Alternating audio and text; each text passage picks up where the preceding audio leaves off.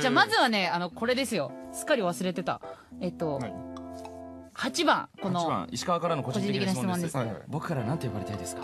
なんて呼ばれたいってどういうこと？名前？どうしどうしてかと言いますと僕も すっかり忘れてたんですけどうん。この番組コートネームというものがございましてあうんはいはいはいはい。あのこう番組内でだけええ。こうラジオネームとかペンネームとかと同じような感じで、はいはいうんその豊永さんのことをどういうふうに呼ぶか。まあ僕だけじゃないってことですよね、うん要は。あなるほど、ええ。この番組内でどう呼んでほしいか、はい。うんえー、どう呼んでほしい？あえっとじゃあ、はい。